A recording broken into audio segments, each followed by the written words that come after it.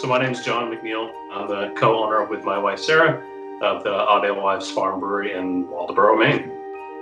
Take us back to the beginning of March 2020 uh, when the pandemic really hit the state of Maine. How did it impact you guys? What was that like? We um, actually just were one month into opening our commercial kitchen, which was a new enterprise of, of our brewery. We were still kind of feeling out everything and then sort of starting to realize that change was coming. In this, the space of a week, it was it was amazing the, the change that occurred. We actually wound up closing down just a little bit before we were even asked to by the governor because it was really apparent that that was going to happen and that we should act really quickly in response for the safety of customers and, and our staff and there was a lot of i think ups and downs emotionally on can we save our this thing that we've grown that we really love that means a lot to us? Can we bring the people back both our staff and our customers that we care about?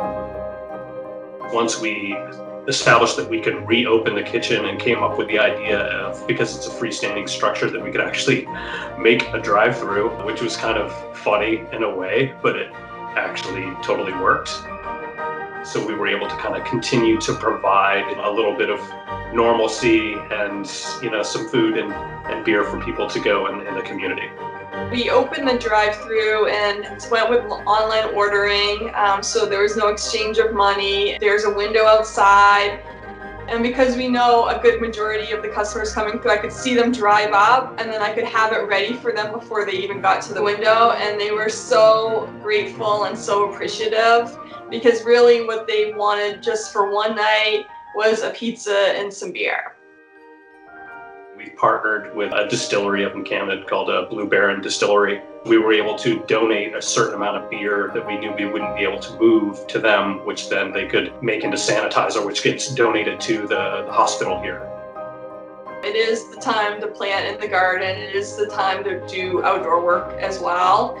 So there's nothing, yeah, for me, that one of the best therapies in the world is being out in the garden, getting my hands dirty in the fresh air we always seem to have some sort of projects uh, that we're always thinking about doing um, around here anyway and for the business. So one of those things has been uh, expanding some of our outdoor spaces during the, the good weather months, you know, when the summer maybe we're able to gradually reopen. We've got a lot of outdoor area where people can kind of spread out and come spend time with some friends and family and, and feel like they can keep a, um, you know, a comfortable distance for them. Nice to see both of you. Good to see you're busy.